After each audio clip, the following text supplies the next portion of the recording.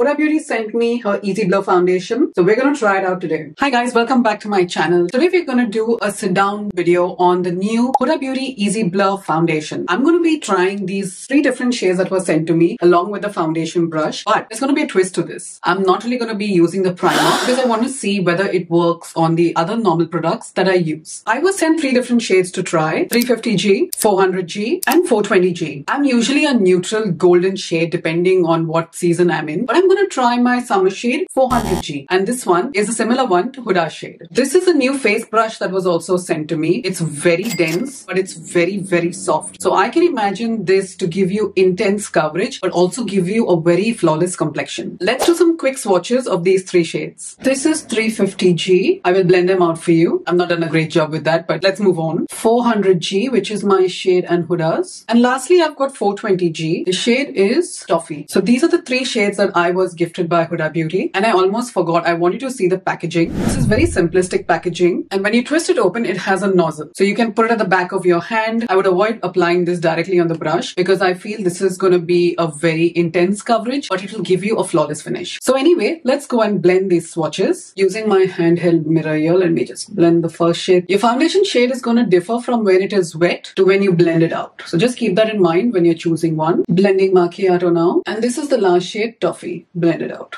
So you can instantly see how it has changed. Now by looking at these swatches in my monitor, Macchiato is my normal shade, but right now it looks like I'm going to be using Toffee. So let's apply Toffee instead of Macchiato and see how it looks. I'm just going to shake the foundation first. You can see this side is more textured as well. So I want to work on this side first and then we will see on not so textured side. So I'm popping some foundation on the back of my hand. So the way I like to apply is put it at the center of the face first. That's where I need maximum coverage anyway because of hyperpigmentation and then I blend out upwards. And now using my Huda Beauty brush, let's dab that in.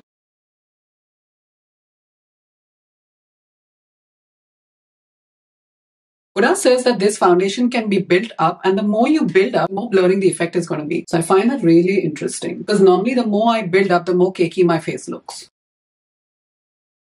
So this seems like a good match, though it's made me a bit more golden than what I normally am. And you can see my neck, it's more neutral. So I think macchiato goes on my neck now and toffee on my face, but we can work around it. That's okay. So this is with just a few dots on the face. Sitting pretty well on texture. It's not looking very obvious, at least on the mirror. And now since Huda said to build it up, I'm going to apply some more, which is going to be a bit scary because I don't like cakey makeup at all. But I trust in Huda and her products because they always work for me. Okay, that has blurred it up even more. That looks stunning actually on the skin. And I'm sure it'll probably blur even more if I'd use the primer. Can you see a difference here? Let me know in the comments. I would love to know your thoughts. And now let's apply it to the rest of the face and see how it looks all put together. Again, applying it only on the places where I need first. I love that it's not emphasizing any texture because foundations like these have a tendency of doing it. And I absolutely detest when that happens. It's not too dewy. It's not matte either. So it's more of a natural finish. It feels very put together with very less effort. And that is the whole face with just the foundation on. And I'm sure if you're following me, you know I don't apply foundation underneath my eyes at all. Skin underneath the eyes thin anyway. So you don't want to be packing too much product. So what are your thoughts on this toffee shade? You think it's matching me? do you find it too golden? Also, I forgot to mention that the Easy Blur foundation has been made in Italy. So you can be sure that the formulation is going to be top notch. And it also has 1.5% niacinamide in it. So just be aware. And now I'm going to pair it with the Easy Bake powder. This is in the shade Banana Bread. I use use this one most often. It's amazing. So I'm not going to apply it with a brush. Instead, I'm going to be using this triangular kind of sponge because I want to make it more blurred. And I'm going to show you a quick tip on how to do that. So take your powder and take your sponge, dab it in and make sure the entire sponge is coated with powder. You're going to tap this off on the hand. So what you're doing is you're getting rid of excess powder and you're also going to get even application on your sponge. Now, instead of just dabbing it anyway, I want you to press it in this motion into the skin. I'll show you this technique technique on the most textured side of my face. And now with dabbing motions, I want you to apply the powder. So it's basically a press and lift, press and lift. I'm exaggerating this so you can see. And you can see how it has already blurred out underneath the eye. And I'm going to do the same thing over here. Press and lift. Again, I'm exaggerating the movements. This is not how you're going to do it. And if your makeup moves into your smile lines here, do the same thing. And look at that. It's instantly blurred. You can see how it's a bit shiny here. And look at this side. So let's do the same thing here too.